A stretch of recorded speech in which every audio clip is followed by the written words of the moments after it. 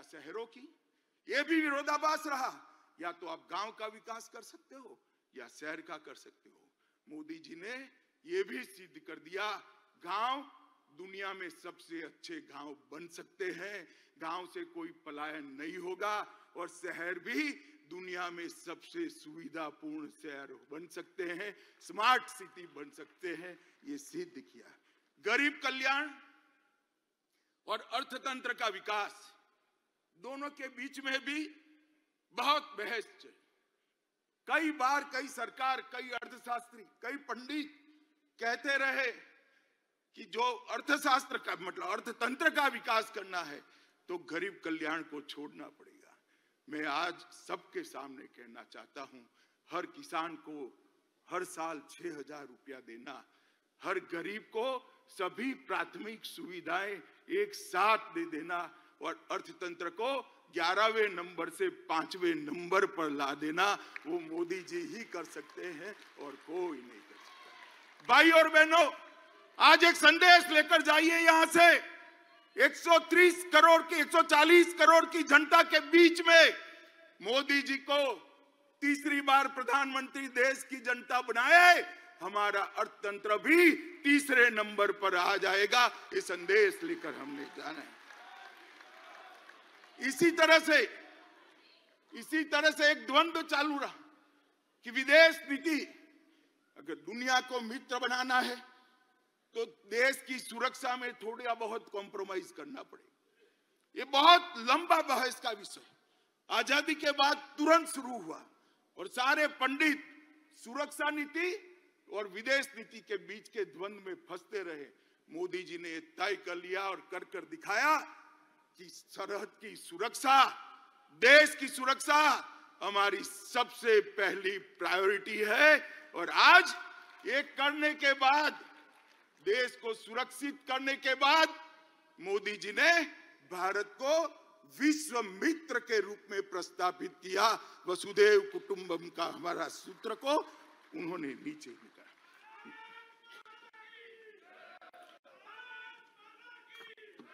मित्रों India alliance और Congress party इसकी देन थी कि इस देश के लोकतंत्र की स्पिरिट को खत्म कर देश के लोकतंत्र को भ्रष्टाचार, परिवारवाद, तुष्टिकरण और जातिवाद से कलर्ड कर दिया।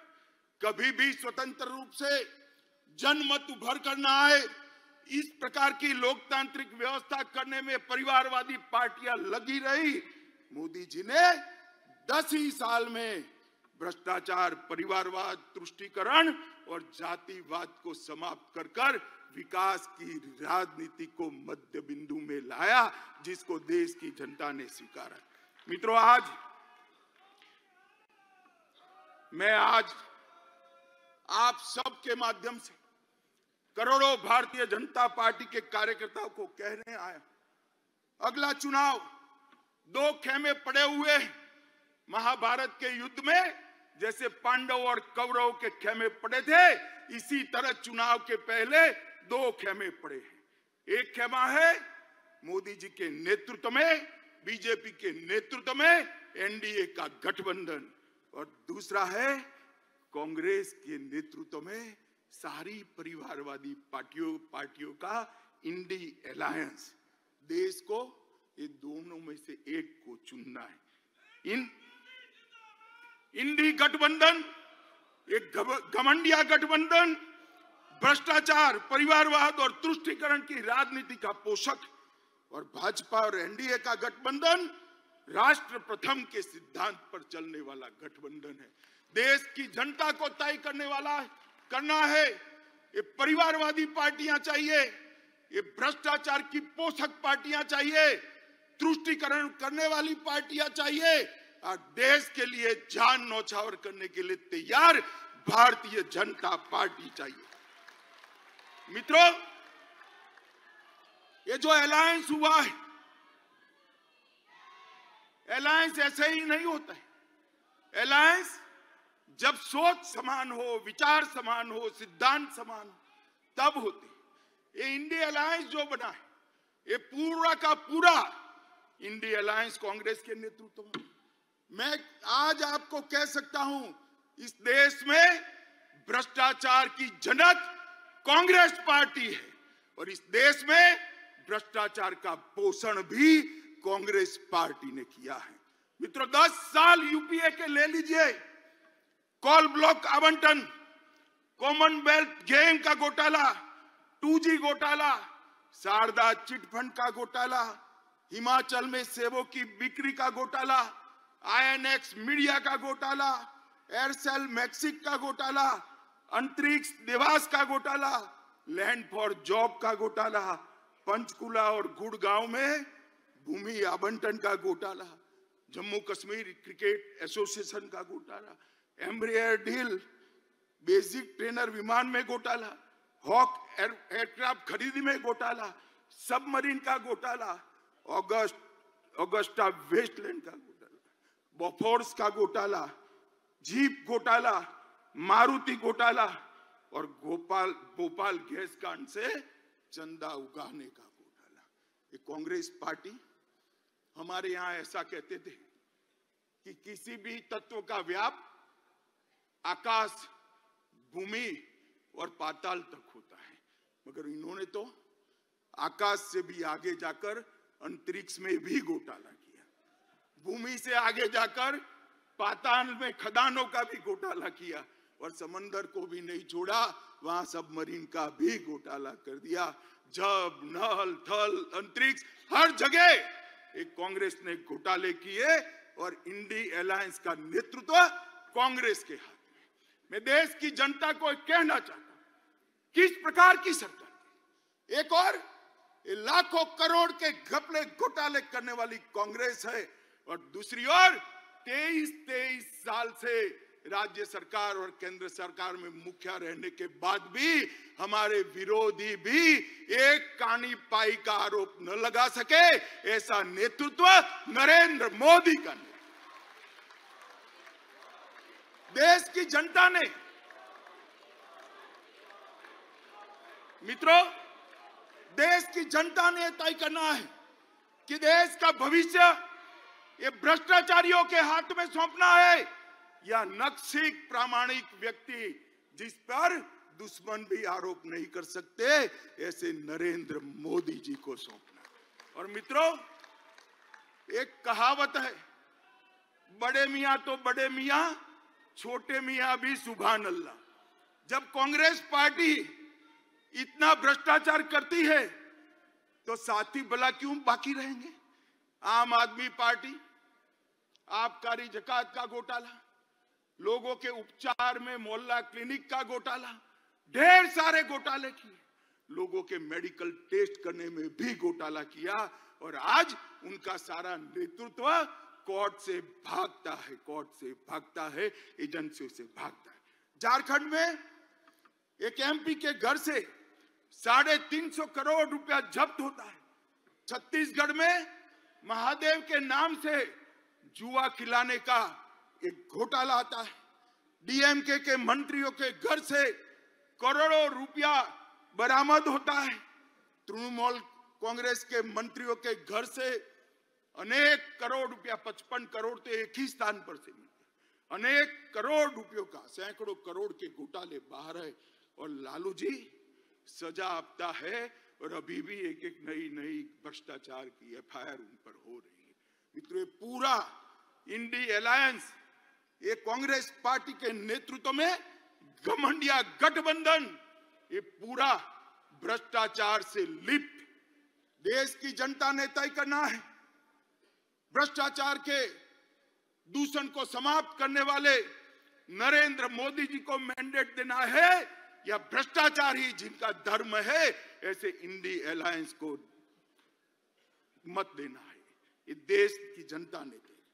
मित्रों, परिवारवाद, अभी ढेर सारे पत्रकार, कुछ media channel, INDI alliance INDI alliance बड़ा चैलेंज बड़ा चैलेंज बड़ा चैलेंज बड़ा चैलेंज।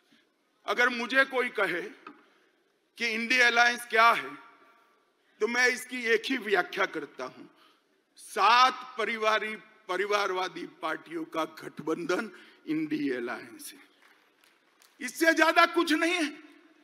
जो अपनी पार्टी के अंदर डेमोक्रेसी नहीं स्थापित कर सकते, वो देश की डेमोक्रेसी की रक्षा नहीं कर सकते, ये देश की जनता को आपकी पार्टी लोकतांत्रिक पार्टी नहीं है।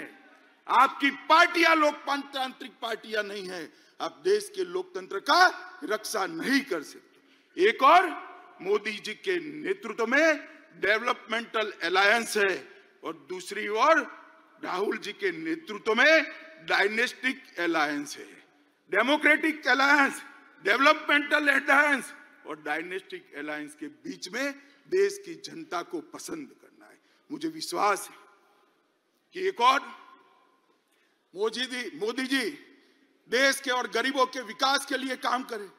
और दूसरी ओर अपने परिवार की चिंता करने वाली पार्टियाँ है। देश निश्चित रूप से विकास की राजनीति करने वाली भारतीय जनता पार्टी और एनडीए को सिलेक्ट करेगी, इसका मुझे पूरा विश्वास। देखिए साहब, इनके राजनीति में उद्देश्य क्या है? मोदी जी कहते हैं, महान भारत की रचना हो। दो तक का लक्ष्य रखा। आत्मनिर्भर भारत की रचना हो। दो तक का लक्ष्य रखा।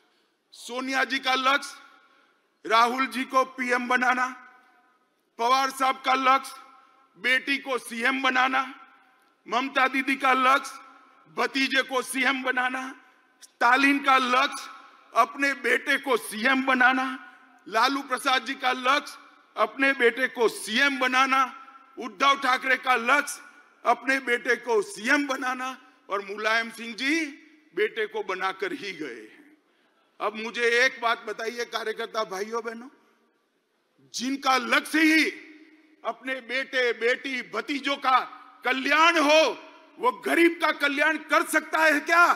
कभी नहीं कर सकता। जिनका लक्ष्य ही अपने परिवार के लिए सत्ता हथियाना हो, वो देश का कल्याण कर सकता है क्या? कभी नहीं कर सकता। मित्रों, इस देश के अंदर 2G, 3G और 4G पार्टियाँ हैं। 2G से मतलब आप 2G घोटाले से नहीं है। Two generation party three generation party four generation party चार चार पीढ़ी तक नेता नहीं बदलता है। चार चार पीढ़ी तक नेता नहीं बदलता है। क्यों भाई? देश के किसी युवा में कौवत नहीं है। वो आगे नहीं बढ़ सकता। ना जी वो नहीं बढ़ सकता। थोड़ा आगे बढ़ गया तो उसका हसर कर देंगे। कई सारे लोग ऐसे हसर किए हुए हैं। भारतीय जनता पार्टी ज्वाइन कर कर आज लोकतंत्र की यात्रा में जुड़े हैं।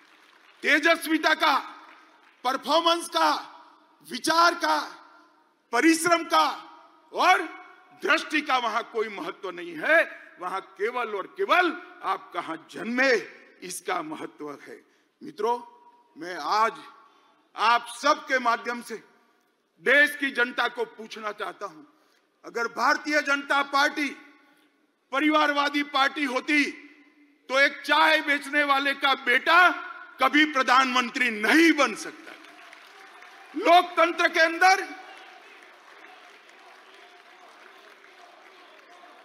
मित्रों, लोकतंत्र के अंदर ये बहुत ज़रूरी है। सबको समान अवसर मिले, सबके अंदर ईश्वर दत्त शक्तियाँ जो पड़ी हैं, वो ईश्वर दत्त शक्तियों के आधार पर उसको आगे बढ़ने का मौका मिले और वो केवल और केवल भारतीय जनता पार्टी में विद्यमान है और किसी दल में भाई और बहनों, मोदी जी एक गरीब परिवार से, गरीब मतलब आप कल्पना नहीं कर सकते। इतने गरीब परिवार से इस देश के सम्मानीय प्रधानमंत्री बने, जिन्होंने पूरे विश्व में देश को सम्मान दिलाया गौरव दिलाया प्रस्तापित इस देश की राष्ट्रपति एक जनजाति परिवार से आती है। जनजातियों में भी, अति पिछड़ी जातियों में से राष्ट्रपति मुर्मू जी आते हैं। प्रधानमंत्री जी ने, भारतीय जनता पार्टी ने एक गरीब आदिवासी की बेटी को महामहिम द्रौपदी मुर्मू बनाकर सभी आदिवासियों का सम्मान। इस देश का उपराष्ट्रपति, एक किसान का बेटा, खेत जोतने वाले का बेटा, इस देश का उपराष्ट्रपति बना है।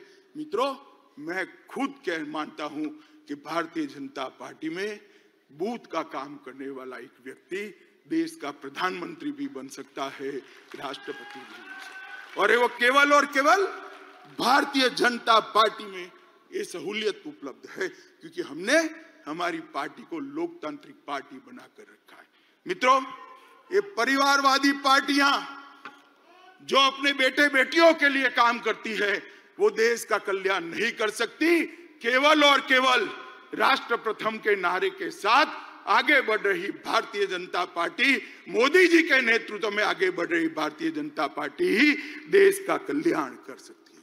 मित्रों, इस देश में जब से हमारा संविधान बना, हमारे संविधान के अंदर पंथ निरपेक्ष पंथ निरपेक्षता को बहुत बड़ा महत्व दिया अरे दस, ये देश आज से नहीं, हज़ारों सालों से पंथ निरपेक्षता के आधार पर बिन सांप्रदायिकता के आधार पर चढ़ता रहा चलता रहा। राज्य का कभी कोई धर्म नहीं होता है। सबको अपना धर्म बनाने की, मानने की और उसका अनुसरण करने की छुट्टी भी है, मुक्ति भी है।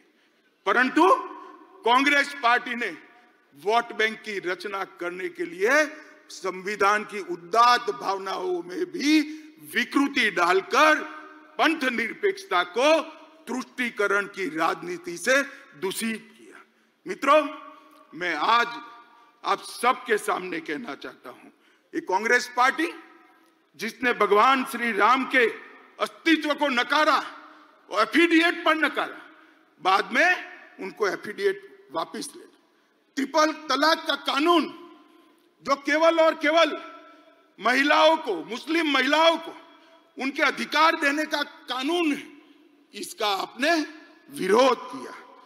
यूसीसी जो कांग्रेस के समय में ही संविधान निर्माता एक लक्ष्य देश के लिए रख कर गए थे, उत्तराखंड सरकार यूसीसी लाई, कांग्रेस ने इसका भी विरोध किया।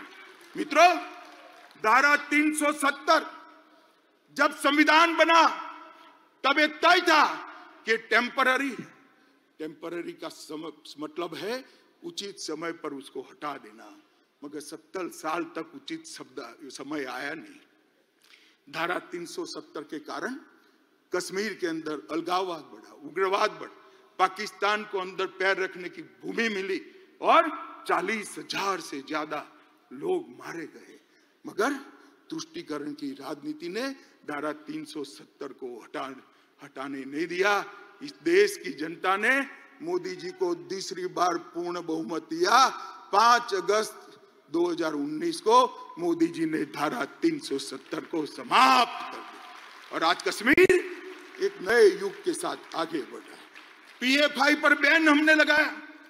तब भी कांग्रेस और इंडिया अलायंस के लोगों ने टेढ़े मेढ़े बयान किए। दक्षिण भारत की महान परंपरा, तमिलनाडु की महान परंपरा, पवित्र सेंगोल को हमने पार्लियामेंट के अंदर बड़ी पवित्रता से प्रस्तापित किया। इसका भी कांग्रेस पार्टी और उनके साथियों ने विरोध किया। ये जहाँ भाजपा विजयी होती है, उन राज्यों को गौमूत्र स्टेट कहते हैं। ये लोग संविधान पर पहला अधिकार, देश के खजाने पर पहला अधिकार माइनॉरिटी का है। ये मान्यता रखने वाले हैं, मोदी जी का कहना है देश के खजाने पर पहला अधिकार गरीब का है, दलित का है, आदिवासी का है, पिछड़े। जाकिर नाइक को मैसेंजर ऑफ़ पीस का सर्टिफिकेट देते हैं। भगवा आतंकवाद के नाम से पूरे सनातन धर्म को बदनाम करते हैं। और मित्रों, अंतिम चरम सीमा तो तब आ गई जब साढ़े पाँच सौ साल के बाद इस देश में उत्सव का क्षण आया। राम लल्ला का प्रधानमंत्री जी प्राण प्रतिष्ठा करने वाले थे। राम लल्ला मंदिर की प्राण प्रतिष्ठा में न्यास ने कांग्रेसियों को भी निमंत्रण भेजा, मगर उन्होंने तुष्टिकरण की राजनीति करना माना, इसको ठुकरा दिया।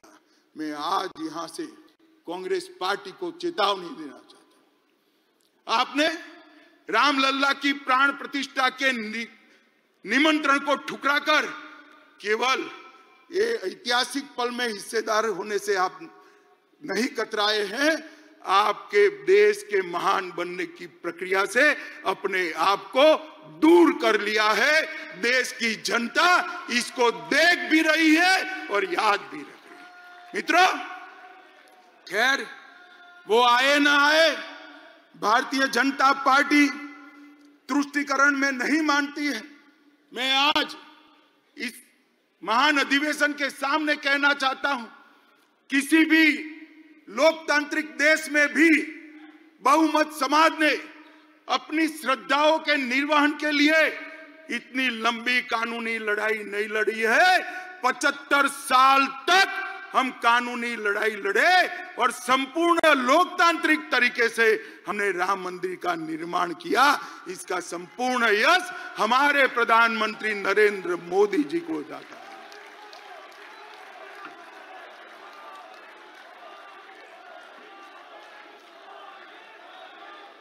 भाई और बहनों, ये कांग्रेस पार्टी और इंडिया अलायंस वाले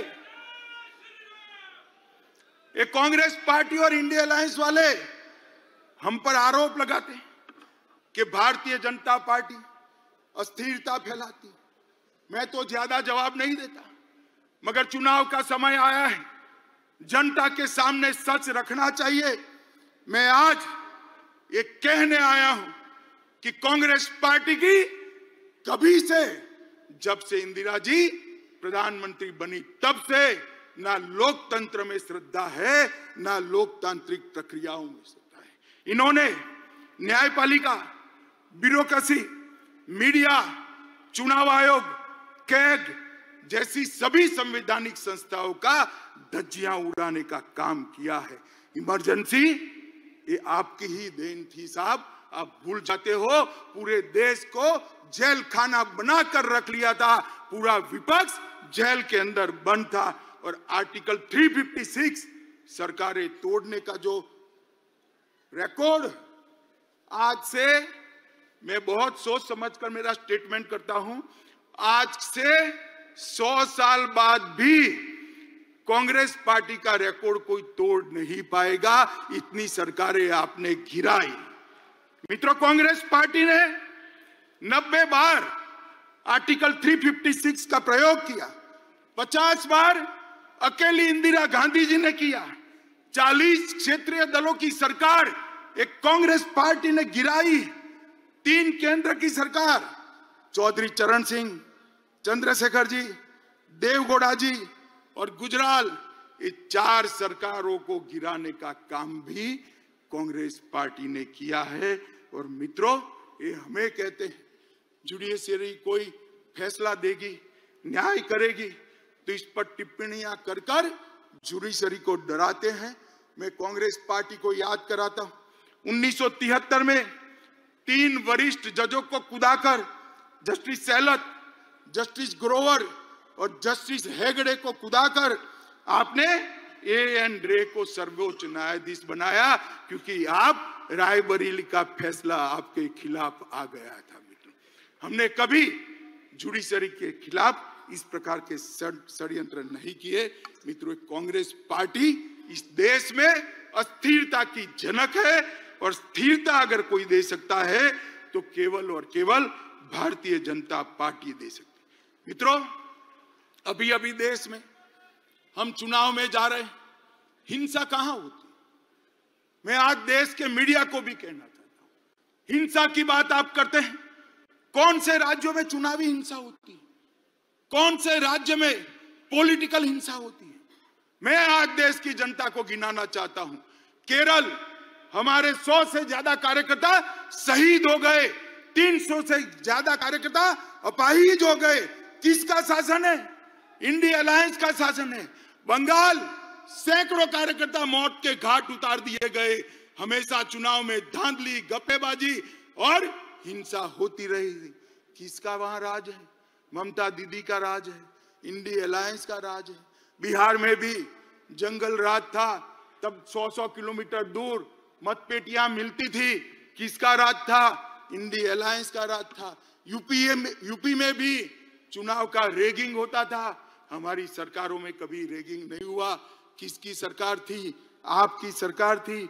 मित्रों, आज भारतीय जनता पार्टी के हज़ारों कार्यकर्ता, हिंसा की भेंट चढ़े कईयों ने तो जान गवाई, कई अपाहिज हुए कईयों के घर जल गए। हम तो हिंसा के भुक्त भोगी है, हिंसा फैलाने वाला गठबंधन अगर कोई है तो एक घमंडिया गठबंधन है इंडी अलायंस मान, भाई और बहनों, ये कांग्रेस कांग्रेस का शासन था। आज़ादी के वक्त कांग्रेस ही देश की ओर से नेगोशिएट करती तब ही देश का विभाजन और आज भी कांग्रेस की विभाजनकारी प्रवृत्ति राजनीतिक फ़ायदे के लिए कम नहीं हुई अभी अभी कांग्रेस के नेता ने कहा कि इस देश के दो टुकड़े होने चाहिए। खुलेआम देश के दो टुकड़े करने की बात करते कांग्रेस पार्टी इस स्टेटमेंट से कन्नी भी नहीं काटती है। ये बताता है कि कांग्रेस पार्टी इसका समर्थन करती माँ भारती का अपमान करने वाले जॉर्ज पुनिया का कांग्रेस के राजकुमार आशीर्वाद लेते हैं। जॉर्ज सरेस, सोरेस जो भारत विरोधी है वो उनका समर्थन करता है। कोयमतुर बम ब्लास्ट को, इंडी अलायंस इसके गुनेगारों को रिहा कर देती है।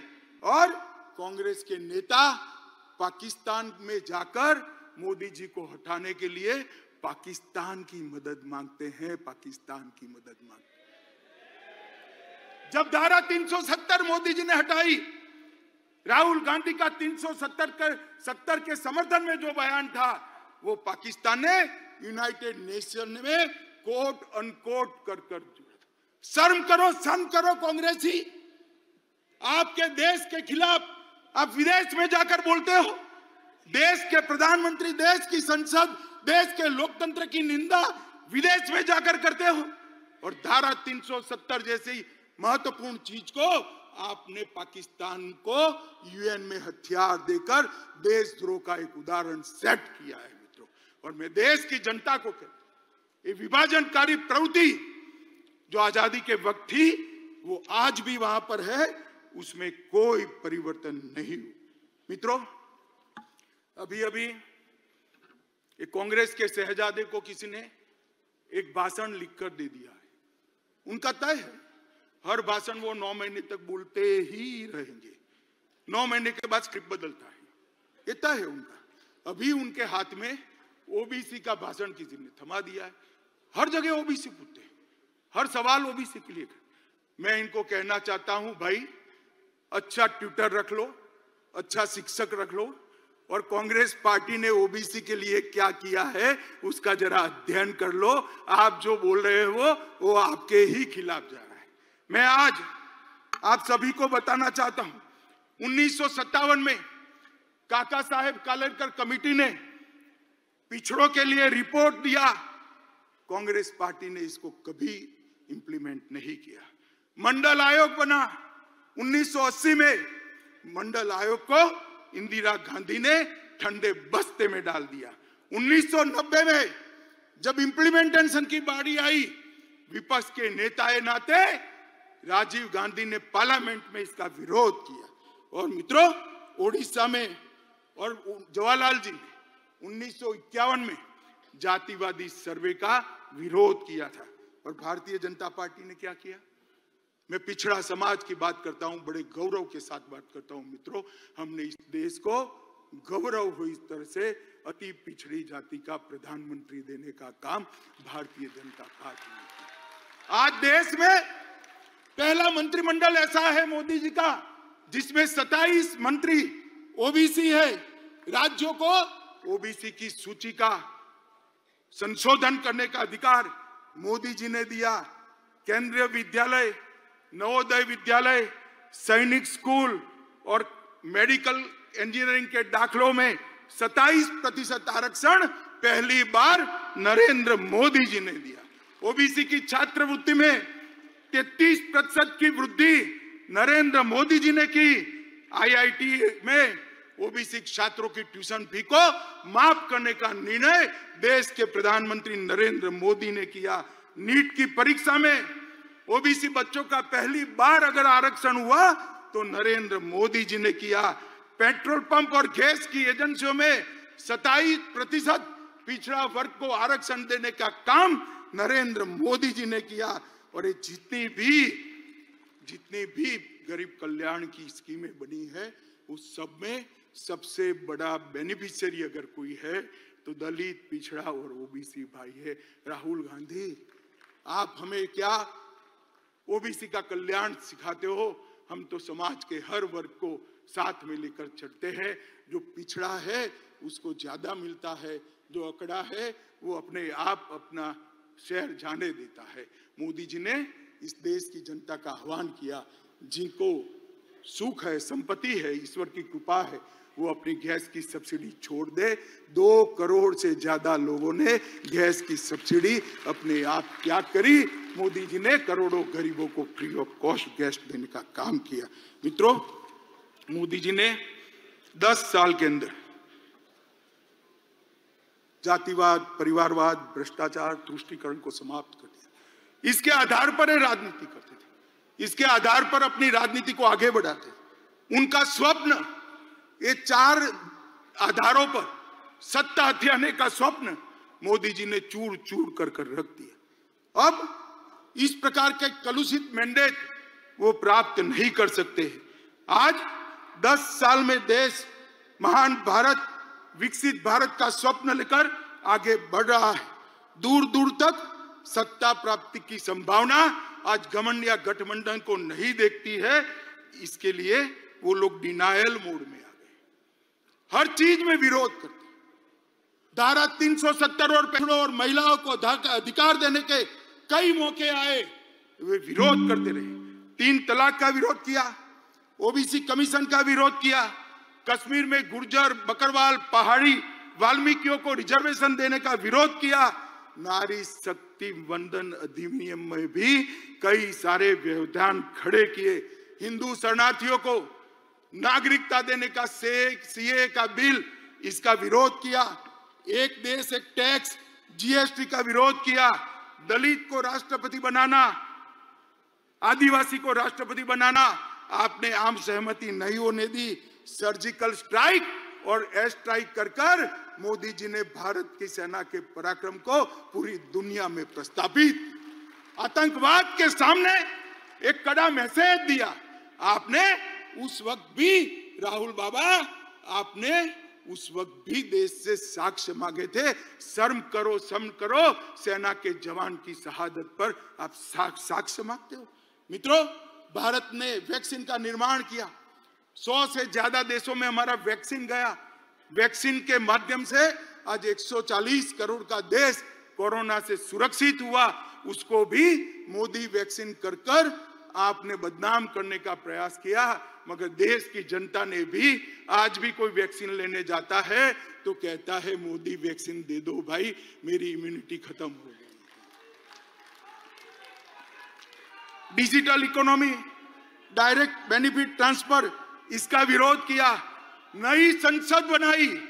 इतनी भव्य संसद देखकर आज पूरी देश की जनता पुलकित है, गौरवान्वित है। इसका भी आपने विरोध किया। कर्तव्य पद बना। आपको राजपथ नाम अच्छा लगता था। कर्तव्य पद का भी विरोध किया। भारत मंडपम में कोर्ट से उसको रोकने का प्रयास किया। यशो भूमि को भी रोकने का प्रयास किया। डाटा प्रोटेक्शन का विजनरी बिल इसका भी विरोध किया और अंत में राम लल्ला की प्राण प्रतिष्ठा का भी आपने विरोध किया, मित्रों।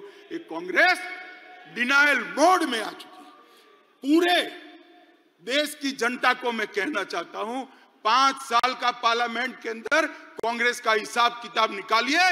इन्होंने पार्लियामेंट के अंदर शोर शराबे और बहिष्कार के अलावा कुछ नहीं किया।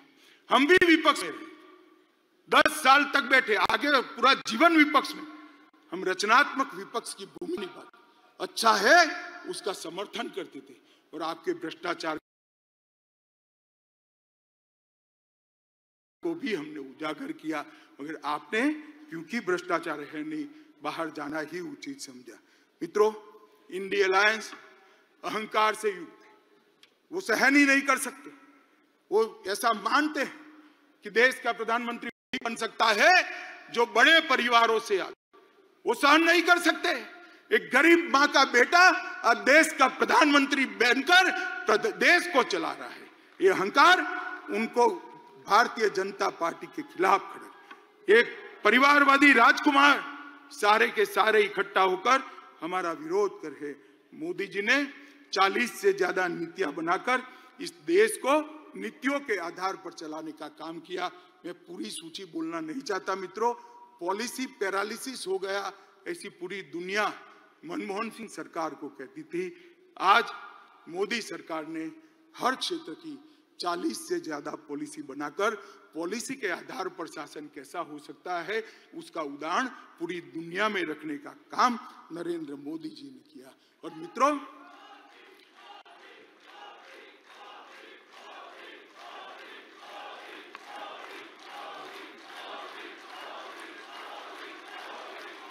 भारत माता की। मित्रों, मैं और आप हमारे नेता के वखान करें, पत्रकार भी कहेंगे घमंडिया गठबंधन भी करेगा, आपको ऐसा ही करोगे। मगर मैं आज देश की जनता का भी धन्यवाद करता, करना चाहता हूँ। आपने बार बार भारतीय जनता पार्टी को आशीर्वाद देकर, मोदी जी को आशीर्वाद देकर अपना समर्थन देता है। आज देश के सत्तर राज्यों में सेवेंटीन स्टेट्स में एनडीए की सरकार है। अठावन प्रतिशत हिस्से पर, जिसमें सत्तावन प्रतिशत आबादी है, वहाँ एनडीए का रूल है। गुजरात में हम लगातार छह चुनाव जीते।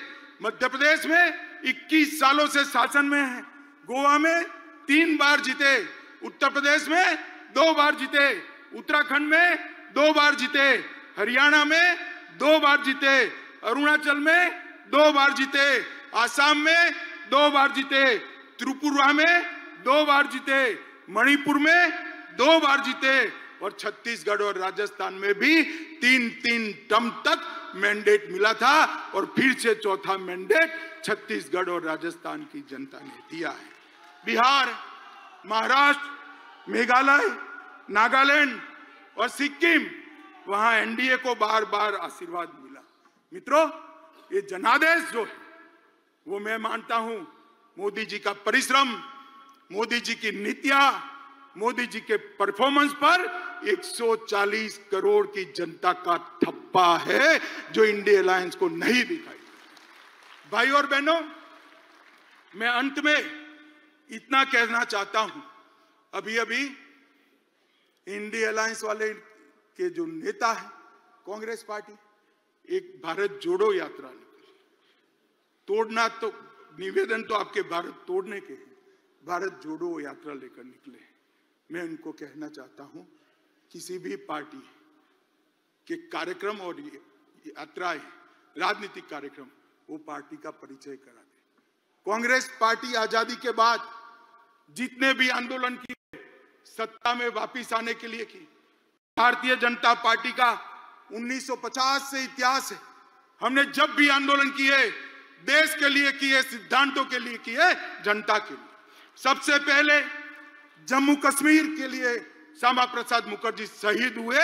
हमने 370 हटाने का आंदोलन किया। गोवा बचाओ का आंदोलन भारतीय जनता पार्टी ने किया। कच्छ का सत्याग्रह भारतीय जनता पार्टी ने किया। गौ हत्या पर प्रतिबंध लगाने का आंदोलन जनसंघ ने किया। आपातकाल के विरोध में हम लड़े। आसाम में घुसपैठियों के खिलाफ हमने पूरे देश को मोबिलाइज किया। राम जन्मभूमि का आंदोलन भी केवल और केवल भारतीय जनता पार्टी ने किया। भ्रष्टाचार के खिलाफ अडवाणी जी के नेतृत्व में हमने आवाज़ उठाई। तेलंगाना आंदोलन भी भारतीय जनता पार्टी ने किया और सबरीमाला का आंदोलन भी भारतीय जनता पार्टी ने किया। हमारी पार्टी ने कभी भी सत्ता प्राप्त करने के लिए आंदोलन नहीं किए हैं, जनता के, परेशानियों के लिए किए, सिद्धांतों के लिए किए और देश को सुरक्षित। अब हम सबने देश की जनता के सामने जाना है। देश की जनता को स्पष्ट बताना पड़ेगा, एक और, ये परिवारवादी पार्टियाँ हैं और दूसरी ओर, एक गरीब माँ का बेटा इस देश का प्रधानमंत्री बना है। आप किसको पसंद करें? एक और साठ साल से भ्रष्टाचार की गंगा जिस पार्टी से बहती है, वो कांग्रेस पार्टी है। और दूसरी ओर, तेईस साल से शासन में होने के बावजूद भी कपड़े पर एक भी दाग नहीं लगा, ऐसा नरेंद्र मोदी है। एक और, तुष्टिकरण की राजनीति करने वाला एक घमंडिया गठबंधन है। और दूसरी ओर, राष्ट्रभक्ति और राष्ट्रवाद से उत्प्रोत भारतीय जनता पार्टी है। आप किसको सिलोक करोगे? एक और कुछ बनने के लिए राजनीति में आए हैं और दूसरी ओर भारत माता को सर्वस्व समर्पित कर कर पूरा जीवन देकर काम करने वाले व्यक्ति है।